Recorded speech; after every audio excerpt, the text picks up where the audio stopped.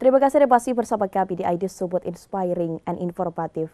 Pemirsa aksi tidak terpuji dipertontonkan seorang atlet pesepak bola yang juga mantan tim nasional Saktiawan Sinaga yang diduga dengan sengaja menendang salah seorang penonton.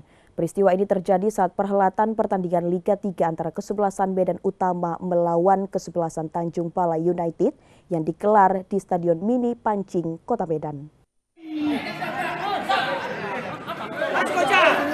Pesepak bola Saktiawan Sinaga viral di media sosial usai menendang salah seorang penonton di tribun Stadion Mini Pancing Kota Medan Kamis lalu. Kejadian bermula saat keributan antara pemain Medan Utama dan Tanjung Balai United mewarnai pertandingan Liga 3 babak 16 besar. Di tengah keributan yang terjadi, Sakti mendengar sorakan penonton yang diduga membuatnya tersinggung. Tanpa dikomandoi, Pesepak bola ini pun langsung bergegas menghampiri penonton yang bersorak dan langsung menendangnya. Keributan antara Sakti Sinaga dan penonton pun sempat terjadi hingga polisi yang berjaga di lokasi langsung melerai kedua belah pihak. Menanggapi aksi koboi pemain Medan Utama Saktiawan Sinaga, Ketua Askot PSSI Medan Iswanda Nanda Ramli menyayangkan insiden tersebut. Menurutnya Saktiawan yang dikenal pernah menjadi pemain timnas ini harusnya menjadi figur yang mampu memberi contoh yang baik untuk sepak bola Indonesia.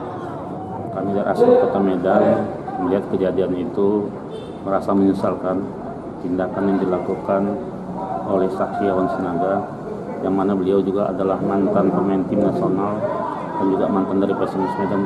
Saya tahu betul beliau itu.